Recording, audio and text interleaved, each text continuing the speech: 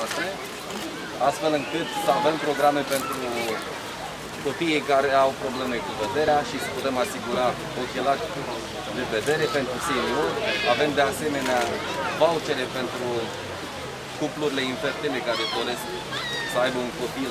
Și acest program de succes a fost de asemenea implementat la București, garanție costau cei 150.000 de bucurești care au beneficiat de aceste programe și vreau să fac acest lucru împreună cu colegii mei și la Botoșani. Cu alte cuvinte, familia să fie în centrul atenției noastre și modelul, modelul de succes Gabriela Firea să fie implementat și la Botoșani. Vă rog să răspundeți dacă veți avea plăcerea și... Credeți că să folosiți numele doamnei primar general capitalei la Botoșani vă va ajuta în campania electorală? Așa cum am zis, garanția programelor dumneavoastră reprezintă bucureștinii care au apreciat aceste, aceste măsuri pe care le-a implementat cu bani de la, de la bugetul local și em, consider că viitorul copiilor noștri este foarte important. Avem aici la, la Botoșani un primar care este dezinteresat de copiii care, așa cum ați auzit, se joacă în parcări în loc să fie în locurile de joacă. Nu a fost Să folosiți numele unui primar general al capitalei pentru a câștiga Nu, ai invocat un proiect.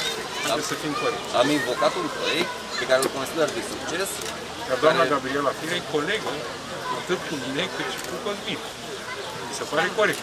Ne-am întâlnit cu Băiatul domnia dumneavoastră sa, de școală. ne-a pus la dispoziție proiectele pe care, au, pe care le-a implementat la nivelul municipiului București. Sunt proiecte de succes și dacă în București au fost aplicate cu atât de mult succes și mămicile au fost mulțumite, de ce păcășulencele noastre nu ar trebui să aibă acces la asemenea facilități? Stă în puterea noastră să le arătăm copiilor că trebuie să învețe într-un mediu sănătos. Gândiți-vă că începe școala peste câteva zile și primarul uh, Flutur nu a făcut nimic din acest punct de vedere. Gândiți-vă că marea majoritate de noi avem copii și suntem destul de speriați dacă după începerea anului școlar copiii noștri vor fi sănătoși. Și de aceea, uh, proiectele doamnei Firea, tot ceea ce au făcut și prin prisma măsurilor de siguranță în această stare de uh, alertă, în starea de urgență, Eu mă tot ceea ce referam s-a puțin întâmplat, că este destul de ciudat vrut, ca un Cosmin- candidat. De Cosmin a- obicei, președintele Preluăm partidului modelele era de acolo. succes. Un Cosmin a vrut să-și candidat facă, la- Cosmin a vrut să-și facă cu interlop, dar el nu se ocupă cu asta.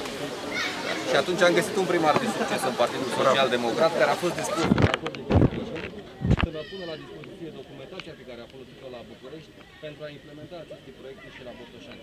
Avem deschiderea școlilor, nu avem dezinfectanți, nu avem moși pentru copii, le așteptăm în continuare de la Guvernul României. Nu avem tablete pentru cursurile online, iar administrația publică locală actuală nu a făcut niciun demers pentru a avea siguranță în școlile Botoșani. Nu avem niciun răspuns de la un primar care patru ani de zile nu a făcut nimic și consider că și acest pachet reprezintă un pas pentru schimbarea pe care trebuie să o facem la Botoșani.